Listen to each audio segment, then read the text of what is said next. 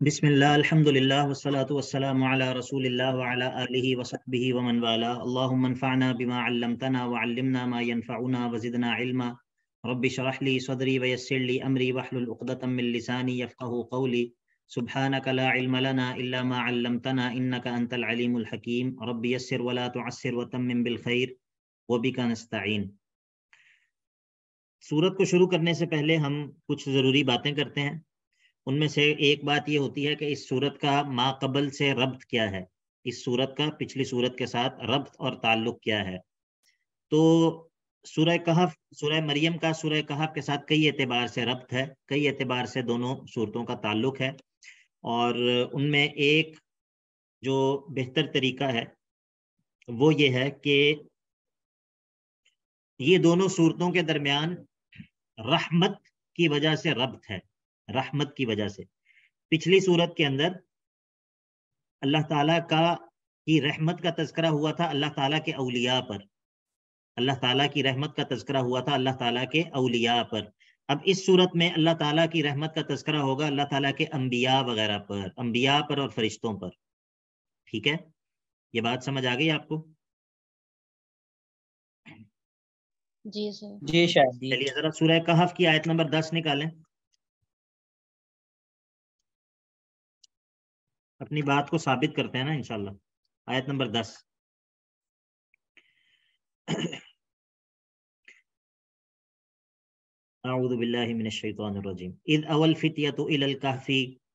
जब पनाह पकड़ ली उन नौजवानों ने गार की तरफ़, फ़कालू और उन्होंने कहा, रब्बना, ए हमारे रब, आतिना मिल्लद उनका रहमा।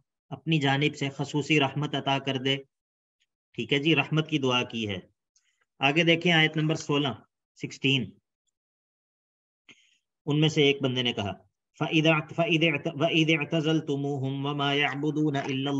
जब तुम जुदा हो जाओगे इन काफिरों से और उन मबूदों से जिनकी ये अल्लाह के अलावा इबादत करते हैं तो फ़बू ठिकाना पकड़ लो गार में, गार की तरफ़ ठिकाना पकड़ लो। यनशुर लकुम रहमती ही अल्लाह तुम्हारे लिए अपनी रहमत को फैला देगा, अपनी रहमत से तुम्हें ढांप लेगा। ठीक हो गया? अब देखें आयत नंबर 58 अब ये असहाब कहफ के बारे में है ना अल्लाह ताला की रहमत का तस्करा असहाब कहफ अम्बिया हैं या अलिया हैं? अलिया हैं। फीक। आयत नंबर 58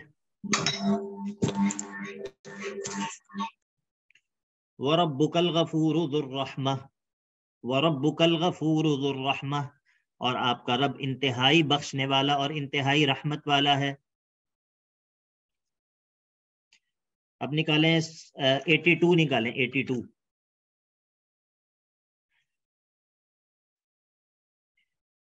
जी एटी टू निकाल ली। जी, शेख। वअम्मल जिदारु फकान लिगुलामैन यतीमैन फिल मदीनति वकान तहतहु कंजुल लहुमा वकान अबूहुमा सालिहा फअराद रब्बुक अन यबलुगा अशुद्धहुमा वयस्तखरिजा कंजहुमा रहमतम मिर रब्बिक वमा फअलतुहु अन अमरी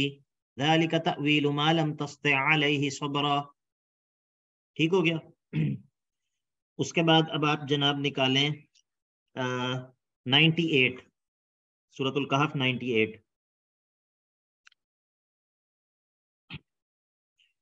ये अफजुल करनैन पीछे आ, उनका था खजर का अफजुल करनैन का किस्सा है।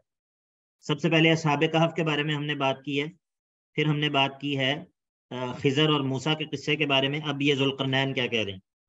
रहमतुम मिर रब्बी 98 कौल हादा रहमतुम मिर रब्बी। ये मेरे रब की रहमत है ये जो सब कुछ मैंने किया है इतनी अजीम शान दीवार तामीर कर दी है और इतना बड़ा एक जो है वो रुकावट खड़ी कर दी है। तो ये मैंने अपनी कुत और अपनी ताकत से नहीं किया, बल्कि हादा रहमतुम मिर रब्बी। तो खजर सलाम ने जो कुछ किया, वो अल्लाह ताला के मोहताज हैं, अल्लाह ताला की रहमत के मोहताज हैं। और असहाब कहफ से जो वाक़ात पेश आए सारे के सारे तो असहाब कहफ की उलूहियत का एतकाद नहीं किया जा सकता क्योंकि वो उन तमाम चीज़ों में अल्लाह के मोहताज हैं। और जुलकरनैन जैसे बादशाह ने जो कुछ भी किया वो उस सब उस, उस सबको करने में अल्लाह की रहमत के मोहताज हैं। आपको बात समझ आ गई सबको? जी सर। तो अब जो है वो ज़िक्र होगा कि सिर्फ़ अलिया नहीं अंबिया भी अल्लाह की रहमत के मोहताज हैं। ठीक है? जब सूर्य कहफ में आपको बता दिया कि अलिया सारे के सारे उनसे जितने भी खरके आदत वाकयात पेश आ जाएँ, जितनी भी बड़ी बड़ी करामतों का जहूर हो जाए, वो इलाह नहीं बनते, वो अल्लाह ही के मोहताज होते हैं। तो शायद जहन में किसी का ये आ सकता था कि शायद अम्बिया जो है, वो उलूहियत के मरतबे को जा पहुँचते हैं। तो अब यहाँ पर आपको ये बताया जाएगा सुरह मरियम में कि नहीं नहीं नहीं। अम्बिया भी चाहे चाहे जितने भी साहिब मंजिलत और कदर रिफात वाले हों वो अल्लाह ही के मोहताज होते हैं, अल्लाह ताला की रहमत की उनको भी ज़रूरत होती है। ठीक है? तो ये तो रब्त का एक तरीका है। एक तरीका ये है कि पहले पीछे मुशरकिन के शुबूहात का रद्द किया। अब यहाँ पर जो है वो सालिहीन का इजज बयान होगा। सालिहीन का इज्ज बयान होगा अम्बिया का और सालिहीन का कि वो अल्लाह के बंदे होते हैं और अल्लाह के सामने वो आजी वाले होते हैं। अल्लाह के सामने वो मोहताज होते हैं। तो ये तो रब्त है इस सूरत का, पिछली सूरत के साथ। सूरत का दावा यही है, मुशरकिन के शुबूहात का रद्द और अम्बिया की अबदियत का बयान। अम्बिया की अबदियत का बयान कि अम्बिया अल्लाह के अब्द हैं।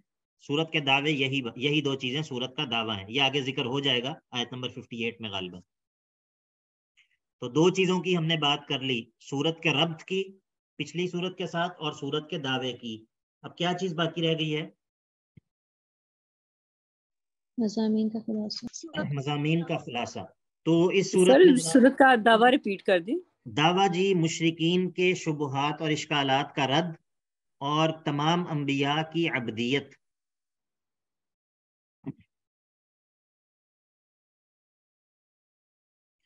अब जनाब सूरत के तीन अबवाब हैं। उनमें से पहला बाब आयत नंबर एक से लेकर आयत नंबर तिरसठ सिक्सटी थ्री तक है। और इसमें मुख्तलिफ़ अम्बिया और सालिहीन की बंदगी और उनके अल्लाह के मोहताज होने का बयान होगा। आयत नंबर एक से लेकर आयत नंबर सिक्सटी थ्री तिरसठ तक।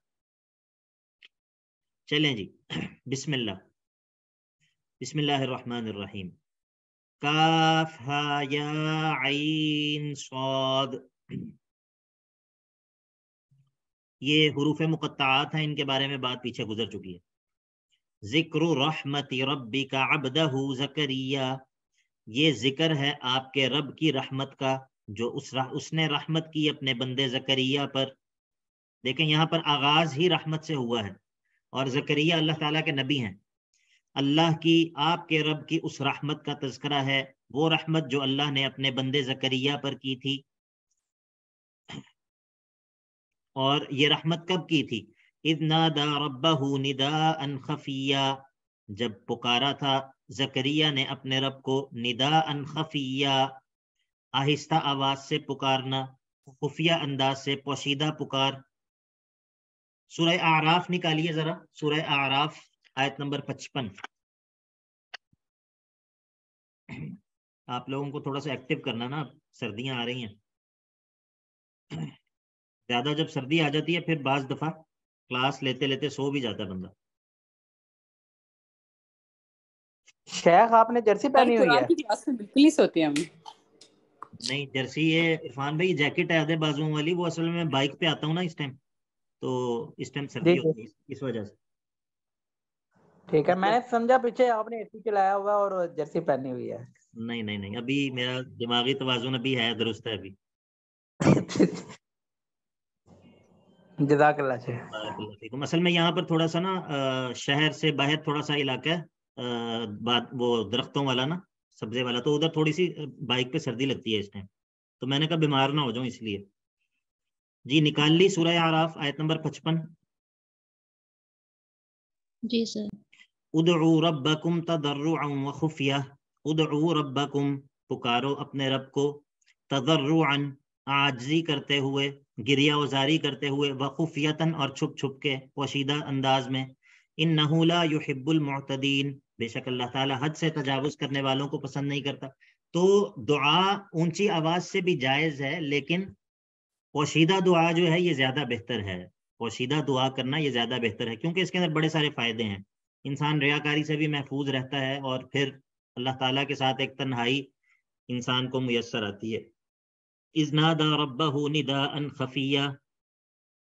जब उन्होंने अपने रब को निदा की, पुकारा निदा अन खफिया। अब ये बार बार हर आयत के अंदर ये बात बन रही होगी, लेकिन शायद कुछ जगहों पे हम इस पे तंबीह ना करें कि ये साबित हो रहा होगा किसी ना किसी अंदाज से कि नबी जो है वो अल्लाह ताला की रहमत के मोहताज हैं।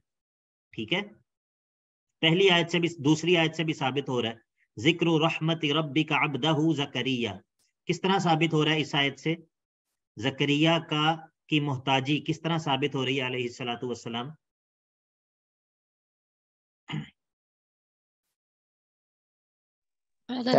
के ज़रिए नहीं वो तो तीसरी आयत है ना नूर हीरा आप बताएँ। अल्लाह ताला की रहमत का ज़िक्र है उन पर। अल्लाह ताला की रहमत का ज़िक्र है और? और अबदहू का जो लफ्ज है। बारकल्लाहु फीकुम। अबदहू का लफ्ज है। माशाल्लाह, अल्लाह ताला आपको बरकत दे। तो जहर अबदहू वो अल्लाह के अब्द हैं, अल्लाह के बंदे हैं, और फिर अल्लाह उन पर रहमत कर रहा है। तो इसका मतलब है कि जकरिया इलाह नहीं हो सकते। अब तीसरी आयत के अंदर वो बात है जो इरफान भाई ने कही है कि इज़ नादा रब्बहू, जब उन्होंने अपने रब को पुकारा है तो जहर है कि वो पहचानते हैं कि वो मेरा रब है, वो खुद को इलाह या मबूद नहीं समझते, बल्कि वो भी अपने रब ही को पुकार रहे हैं। तो इस तरह हर आयत के अंदर कोई ना कोई किसी ना किसी तरह से उनकी अबदियत और उनकी बंदगी साबित हो रही होगी, सालिहीन और अम्बिया की। इज़ ना नादा रब्बहू, जब उन्होंने अपने रब को पुकारा निदा अन खफिया, पोशीदा पुकारना, कौला, अब ये दुआ क्या की? क्या पुकारा? कौला, रब्बी इन्नी वहन अज़म मिन्नी। कौला, रब्बी, ए मेरे रब, इन्नी, बेशक मैं वहन अज़म मिन्नी। मेरी हड्डियाँ कमज़ोर पड़ गई हैं तो जो मबूद हो, उसकी हड्डियाँ कमज़ोर नहीं पड़ा करती। कमज़ोरी और इजज और नक्स और कमी, ये चीज़ें मबूद की शान इनसे मुबर्रा होती है। मबूद, आप क्या कहते हैं? सुबहान अल्लाह सुबहान अल्लाह सुबहान अल्लाह का मतलब ही है कि अल्लाह हर किस्म के इज्ज, नक्स, कमी, कोताही, ऐब से पाक है। मबूद ऐसा ही होता कौल रब इन्नी वहनमी वश्तबा और मेरा सर भी बुढ़ापे से बुढ़ापे से सफ़ेद हो गया है। यानी कि मेरा सर भी जो है वो बिल्कुल सफ़ेद हो गया है। वलम अकुम बिदुआ रब शकिया। वलम अकुन, और मैं नहीं हुआ बिदुआ का आपको पुकारने की वजह से। आपको पुकारने के बाद, रब्बी, ए मेरे रब, शकिया, ना मुराद। वलम अकुन शकीयन बिदुआ का या रब्बी। वलम अकुन शकीयन बिदुआ का या रब्बी। और मैं बदबख्त और ना मुराद कभी भी नहीं हुआ आपको पुकार के। मैंने जब भी आपको पुकारा है तो मैं ना मुराद नहीं रहा। वलम अकुन बिदुआ रब्बी, ए मेरे रब शकिया ना मुराद आपको पुकार कर मैं कभी भी ना मुराद नहीं रहा। व इन्नी खिफ्तुलमवालिया मिन और बेशक मैं मैं डरता हूँ अलमवालिया अपने चचा जाद भाइयों से, रिश्तेदारों से मिम मेरे बाद। मैं उनसे डरता हूँ। किस तरह किस एतबार से डरता हूँ? से। हाँ जी। वो वो इन्नी खिफ्तुल मवालिया मिन वराई वकानत इमराती आकिरा। अच्छा अब दो चीज़ें हैं। एक तो ये है कि मैं इस बात से डरता हूँ कि मेरे चचाजाद भाई या मेरे रिश्तेदार जो हैं वो मेरे इल्मी विरसे को मेरे इल्मी विरसे को जो एक चलता आ रहा है, मेरे नबूवत और दीनी विरसा जो है, इसके अंदर हेर फेर करेंगे, इसको नुकसान पहुंचाएँगे। मेरी जो एक लेगेसी है, उसको आगे लेकर नहीं चलेंगे। इन्नी और मेरी बीवी भी बांझ है, मेरी बीवी भी बांझ है। यानी कि औलाद के जो जाहिरी असबाब हैं, वो मौजूद नहीं हैं। औलाद के जो जाहिरी असबाब हैं, वो मौजूद नहीं है।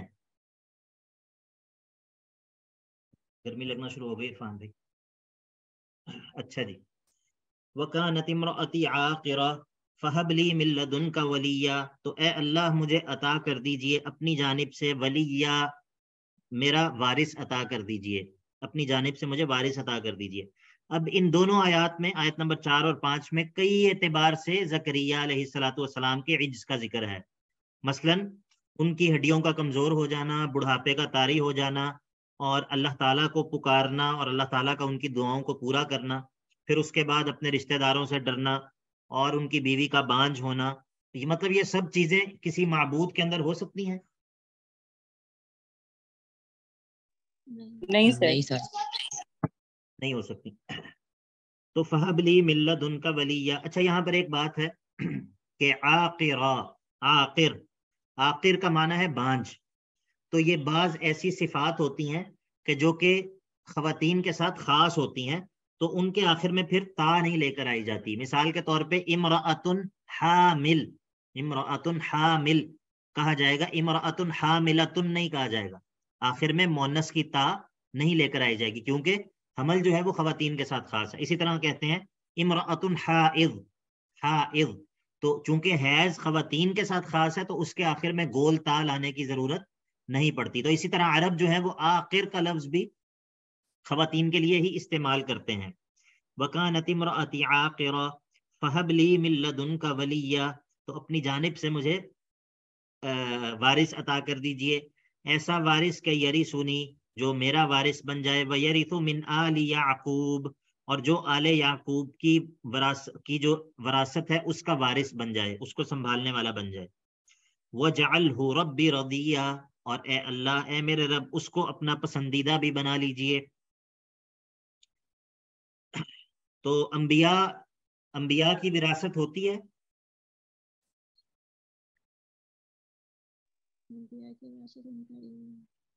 हाँ जी। समझ नहीं आई? अंबिया की विरासत इल्म है। इल्म है। और कोई? जी बहन आप बताइए।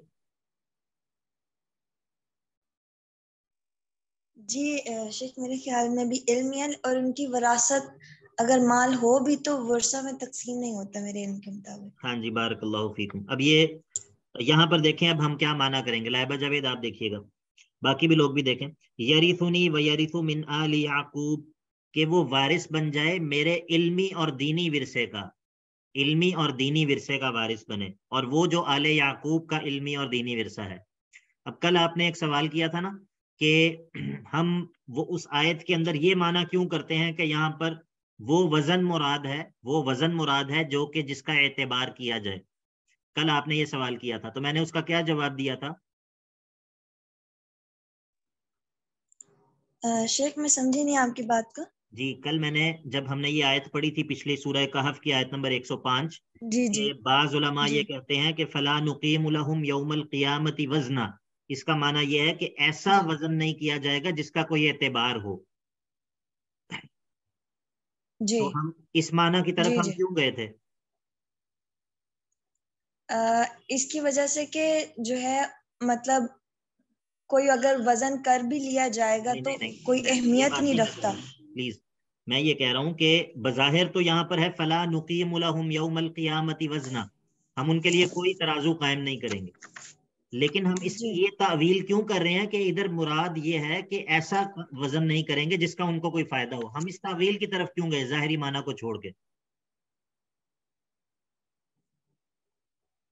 इस तावील की तरफ़ क्यों गए हैं? जी हमने ये माना क्यों की वजह से। हाँ जी बिल्कुल। ये असल जवाब ये है। यानी कि हम जब कुरान मजीद का को, को इंटरप्रेट कर रहे होते हैं तो हम इस चीज़ का ख्याल हमेशा रख रहे होते हैं कि हम कोई ऐसा माना ना करें जिससे नसूस और कुरान मजीद की आयत आपस में टकरा जाएँ। आपको बात समझ आ रही है? हम हमेशा जी जी जी ऐसा माना करते हैं जिससे तमाम नसूस जो है वो इन लाइन रहे वो अलाइन रहे। उससे में आपस में टकराव पैदा ना हो ठीक है? जी। अच्छा और ये जो उसूल है ना ये जो उसूल है आप अगर इस बात पे गौर करें अ, ये उसूल हम अपने रोज़मर्रा की ज़िंदगी में भी इस्तेमाल करते हैं। मिसाल के तौर पे अ, एक कोई बंदा है सेंसिबल बंदा है आपके सामने और वो कोई बात करता है।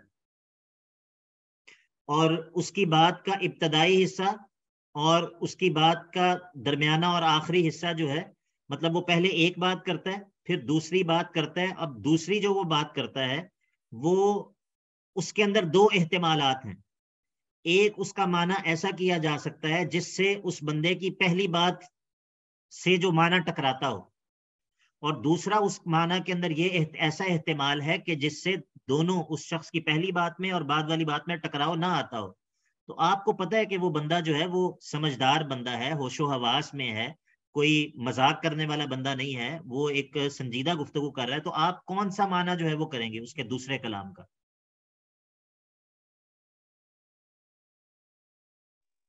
सर जो टकराता ना जो टकराता ना हो बिल्कुल।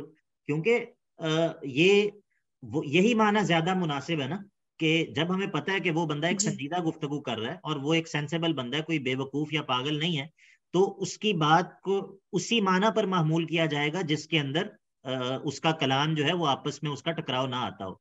तो अल्लाह रब्बुल इज़्ज़त का कलाम और जो शरी नसूस हैं अल्लाह के नबी सल्लल्लाहु अलैहि वसल्लम की जो अहादीस हैं ये सबसे ज़्यादा इस बात के मुस्तक हैं कि इनकी ऐसी इंटरप्रिटेशन की जाए जिससे आपस में टकराव वाक्य ना हो। ठीक है?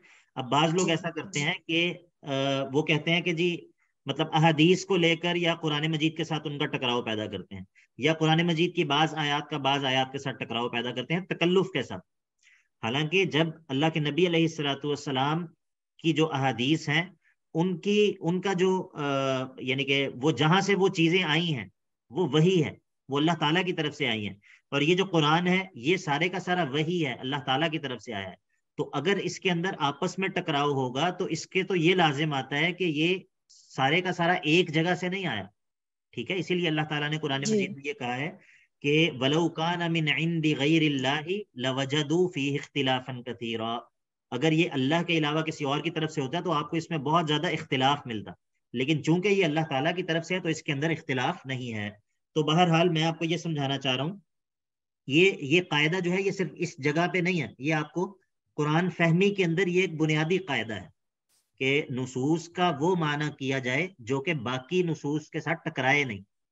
तो अब यहाँ पर जो मैं ये बात कर रहा हूँ इसीलिए कर रहा हूँ कि अल्लाह के नबी सलाम ने फरमाया है कि अम्बिया अपने पीछे दिरहम और दिनार छोड़ के नहीं जाते बल्कि अम्बिया की वरासत उनका इल्म होता है।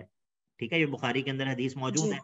और वैसे भी वो जो सैदा फातिमा रज़ी अल्लाह तहा ने मुतालबा किया था अल्लाह के नबी सलाम की विरासत का।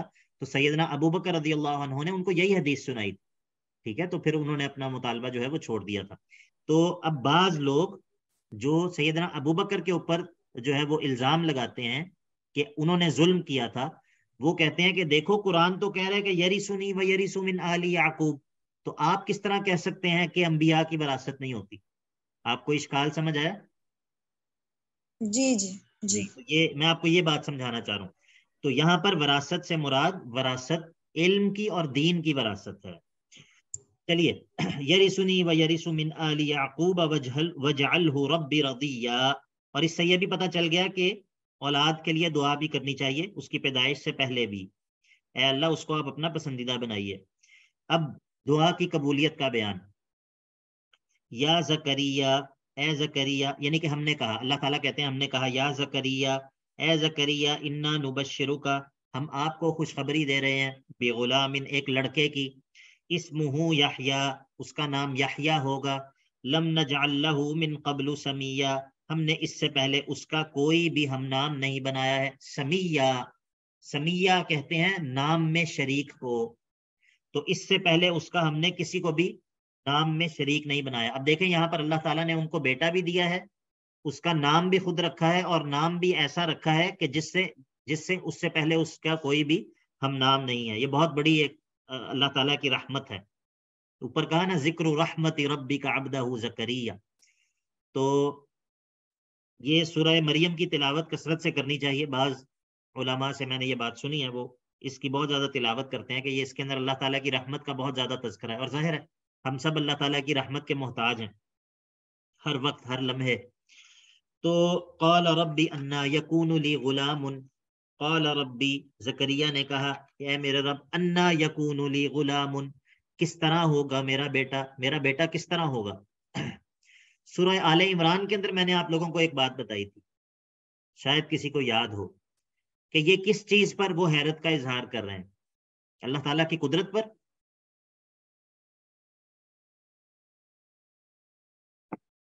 आप लोग भूल जाते हैं। इल्मी जो नुकात होते हैं ना वो आप लोग भूल जाते हैं। सर उसके जाहिरी इसबाब पर।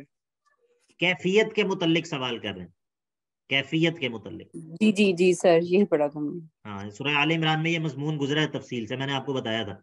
अब अगर हम ये बात नहीं समझेंगे तो एतराज़ पैदा होगा ना। एतराज़ पैदा होगा कि एक तरफ़ जकरिया अल्लाह ताला से बुढ़ापे में दुआ कर रहे हैं बेटे की फिर जब अल्लाह ताला खुशखबरी दे रहा है तो वो ताज्जुब का इजहार क्यों कर रहे हैं? आपको समझ आया? इश्काल और एतराज़ समझ आ गया? जी सर। जी सर। तो इसका जवाब कैसे देंगे आप?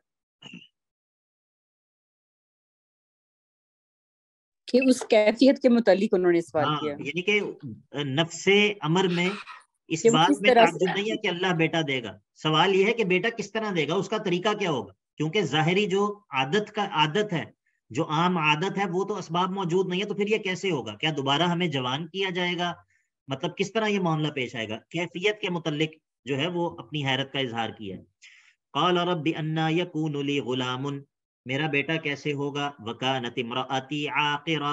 हालाँकि हाल ये है कि मेरी बीवी तो बांझ है। बीवी भी बांझ है। वक़द बलगतु मिनल किबरी इतिया। और मैं भी पहुँच चुका हूँ बुढ़ापे की इंतहा को।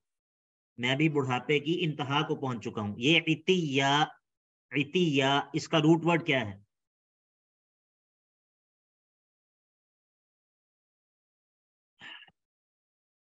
चलें ये आप लोगों के ने देख नहीं आइन ता या। नहीं आइन ता वाओ। आइन ता वाओ।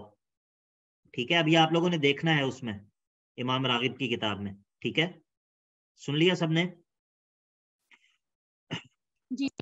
आज मैं इंशाल्लाह आप लोगों को आज से जो है ना अल्फाज देने शुरू करूँगा और अब आप लोगों को इनशाला इस चीज़ पे पुख्ता करना है। आप लोगों के अंदर मलका पैदा करना है। तफसीरी मलका बहुत सारे, माशाल्लाह बहन भाइयों के अंदर पैदा हो गया कुछ ना कुछ।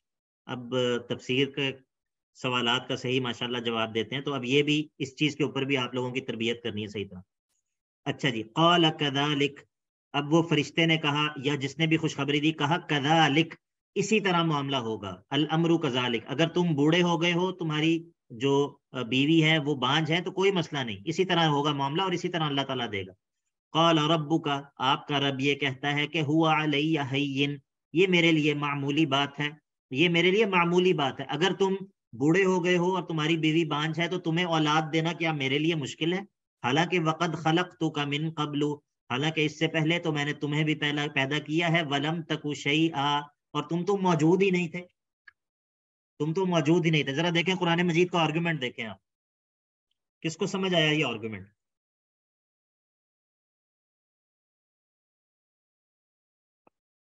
हाँ जी, किसको समझ आया है?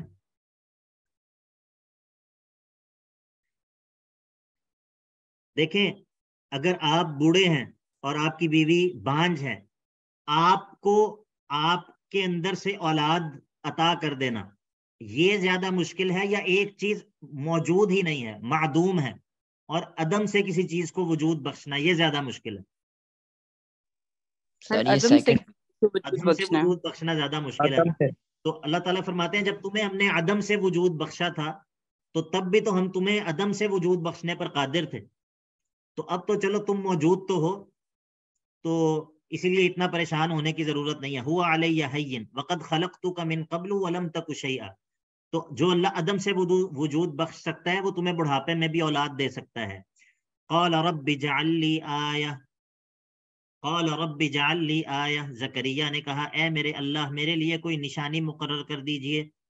इसकी कोई निशानी मुकर कर दें ताकि जब कोई निशानी मिल जाए ना तो फिर इंसान को बड़ी तसल्ली हो जाती है, इंसान मुतमिन हो जाता है, इंसान का दिल। कौल आयतुका अल्लाह तुकल्लिमन नास थलाथ लयालिन सविया अल्लाह ताला ने कहा, तुम्हारी, तुम्हारे लिए निशानी ये है कि अल्लाह तुकल्लिमन नासा, कि तुम लोगों से गुफ्तगू नहीं कर सकोगे। सलाथ तीन दिन, तीन रातें, तीन दिन मुकम्मल। सविया, इस हाल में कि तुम सही सालिम होगे, कोई बीमारी भी नहीं होगी, कोई बीमारी और आफत नहीं होगी, लेकिन तीन दिन तुम लोगों से कलाम नहीं करोगे। फ़खरजा अला कौमी ही पस वो अपनी कौम पर निकले। मिनल मेहराबी अपनी इबादत की जगह से। मेहराब कहते हैं इबादत की जगह को। आपने अरबी ग्रामर के अंदर इसम आला पढ़ा है? इसम आला या इसम जर्फ? जी सर पढ़ा है। जी सर पढ़ा।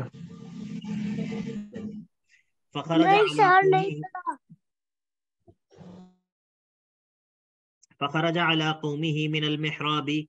अपनी कौम पर निकले मिनल मेहराबी अपनी इबादत की जगह से फ़ाउहा इलैहिम ये इबादत की जगह को मेहराब इसलिए कहते हैं इसका रूट वर्ड क्या है मेहराब का?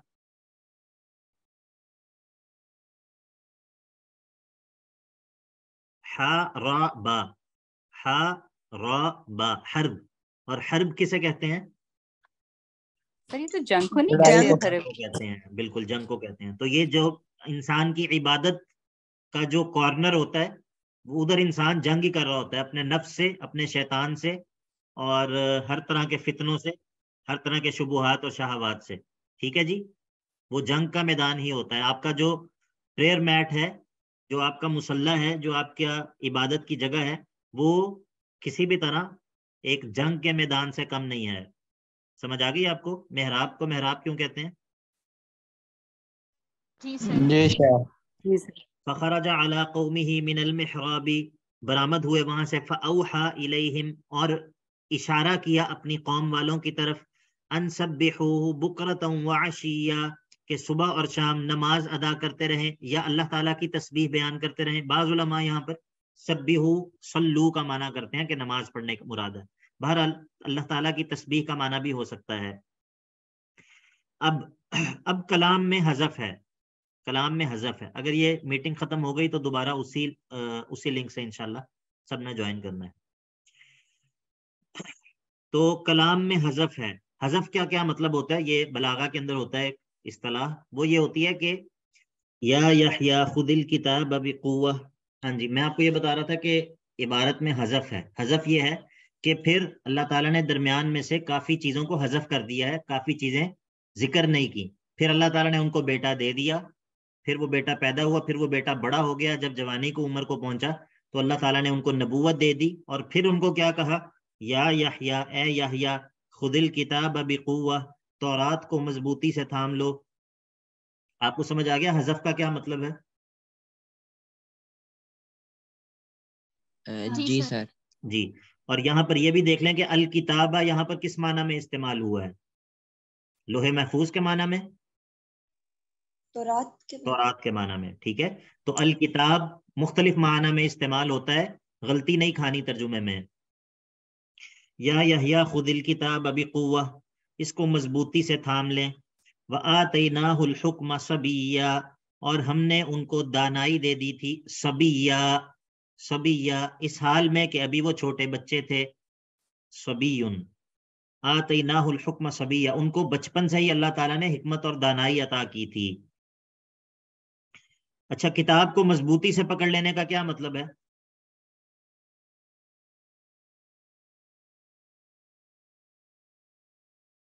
अरे उस पे अमल करना। उस पर अमल करना ठीक है? उसके साथ तमस्सुक। मतलब ये नहीं है कि हाथ से मजबूती से थाम लें ठीक है? ये माना नहीं है।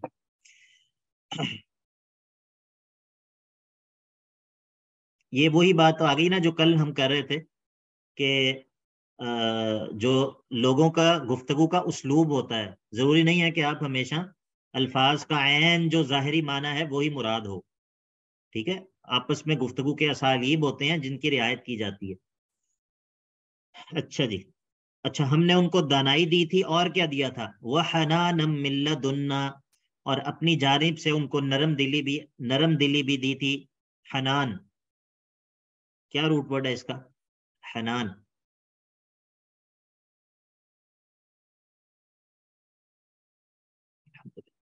जी क्या रूट वर्ड है?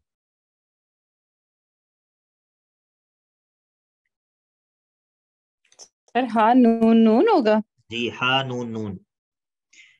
ये नाम भी रखते हैं लोग हनीन नाम रखते हैं खवातीन का।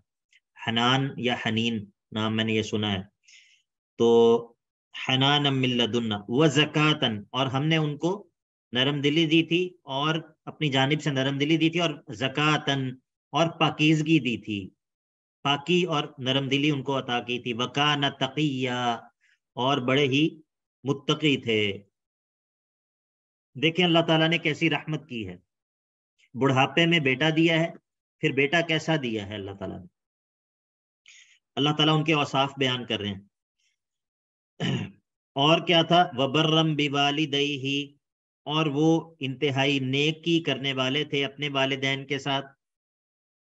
वलम यकुन जब्बार नासिया और वो बिल्कुल भी सरकिश और नाफरमान नहीं थे। सुबहान अल्लाह क्या बात।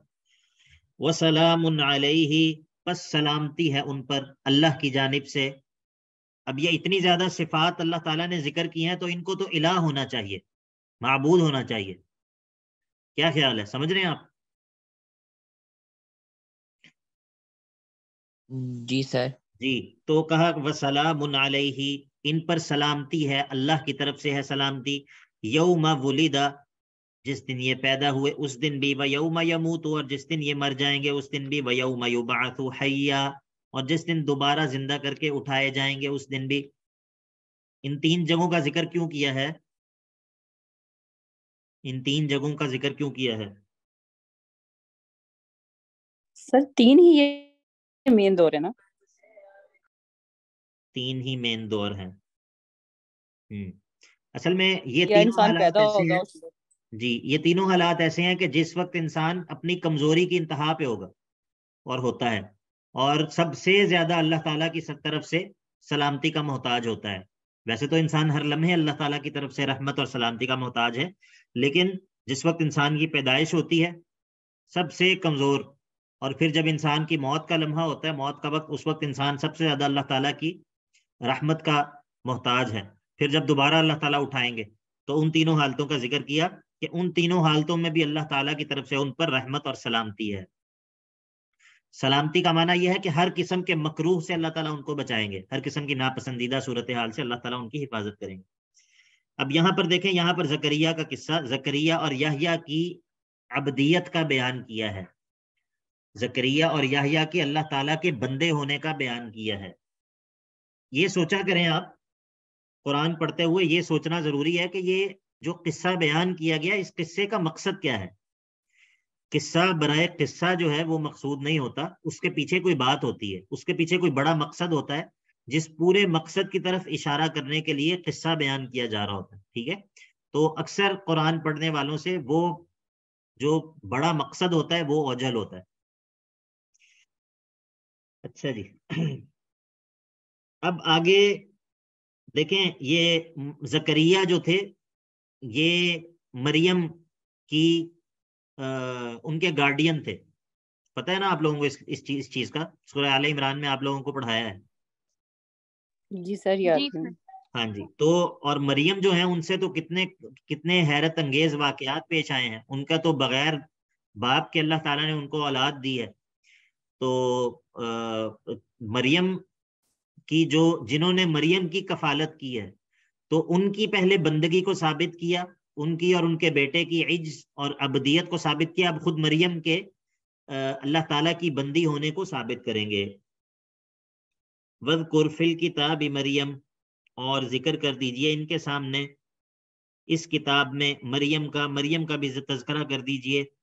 इजिन तबजत मिन अहलिहा, जब वो तनहा हो गई अकेली हो गई, मिन अहलिया, जुदा हो गई अपने घर वालों से मकान शर्किया, एक मशरकी जानब में इबादत के लिए। अल्लाह ताला की इबादत के लिए जो है वो जुदा जुदा हो गई। फत खजत मिंदूनी हिम हिजाबा, और अपने और उनके दरमियान एक हिजाब और पर्दा जो है वो गिरा लिया। फ़अरसलना इलैहा रूहाना, फ़अरसलना इलेहा रूहाना, बस हमने भेजा मरियम की तरफ़, रूहाना जिब्राइल को जिब्राइल को भेजा।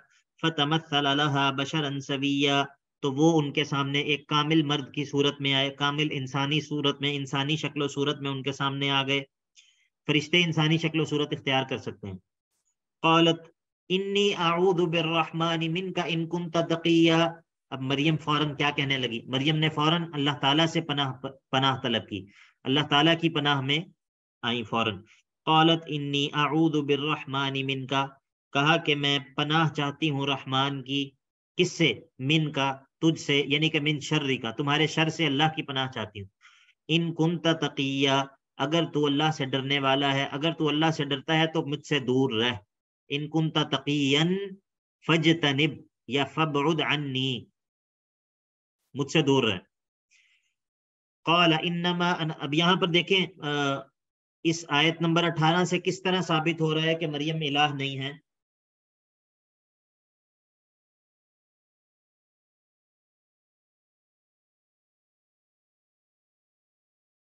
जी। सर पनाह मांगने से। पनाह मांगने से। और उनके खौफजदा हो जाने से भी। रसूल रब्बिक। जिब्राइल ने कहा मैं तो कोई नहीं हूँ सिवाय इसके कि मैं तो तुम्हारे रब की तरफ़ से भेजा गया रसूल हूँ। रसूल यानी कि पैगाम्बर कासिद। ली अहब की गुलाम जकिया ताकि मैं आपको दे दूँ गुलाम जकिया एक समझदार बेटा। तो जिब्राइल औलाद दे सकते हैं? नहीं सर वो अल्लाह का हुक्म लेके आए थे। हम्म, लेकिन ये आयत इस आयत से फिर वो लोग इस्तदलाल करते हैं ना? जो लोग कहते हैं कि अंबिया या औलिया सुलाहा जो है वो औलाद देने पर कादिर हैं। वो कहते हैं जिब्राइल अगर औलाद दे सकते हैं तो अलिया क्यों नहीं दे सकते? आपको बात समझ आ रही है? एतराज़। जी सर। तो यहाँ पर जो इसका जवाब इस तरह है कि इन नमा अना रसूल रबिक रसूल जो होता है रसूल वो आके आपसे अपनी बात करता है या जिसका रसूल है उसकी बात करता है? मुरसिल की बात करता है? मुरसल इलेह से या अपनी बात करता है? सर वो मुरसल की बात करेगा। मुरसिल की बात करेगा ना जिसने उसको भेजा उसका पैगाम आपको आके देगा ना। तो जब कहा कि मैं आपके रब का रसूल हूँ तो वो पैगाम क्या है? वो ये है कि अहबल की गुलाम जकिया। या फिर इन्नी मुरसिल इलई का मुझे आपकी तरफ़ इन्नी मुरसल इलई का मुझे आपकी तरफ़ भेजा गया है। ये पैगाम देकर के लिया की गुलामन जकिया कि अल्लाह आपको एक समझदार जो है वो पाकिजा लड़का जो है वो अता करेगा। तो ये लफ्ज रसूल से जो है वो इस एतराज़ से निकला जा सकता है आराम से। कौलत अन्ना यकून ली गुलाम अब आ, उनका ताज्जुब का इजहार मरियम का। अन्ना यकून ले गुलाम कि मेरा बेटा किस तरह हो सकता है? हालाँकि वलम यम ससनी बशरुन। मुझे तो किसी भी इंसान ने नहीं छुआ किसी इंसान ने भी मुझे हाथ नहीं लगाया कभी। वलम अकूबगिया और ना ही मैं कोई बदकार हूँ। तो मेरा बेटा कैसे होगा? कौल कदा लिखी फरिश्ते ने कहा, तुम इसी तरह रहोगी, जिस तरह पाक दामन हो, इसी तरह रहोगी। कौल रब्बू की हुआ आपका रब ये कह रहा है कि ये मेरे लिए बड़ा आसान है।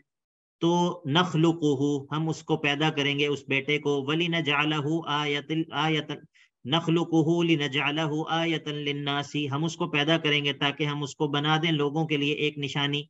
व रहमतम मिन्ना, और अपनी जानब से एक रहमत। वकान अमरम मकदिया और ये तो ऐसा मामला है जो कि तय शुदा है, तय कर दिया गया है। अल्लाह ताला ने इस चीज़ का फैसला फरमा दिया है।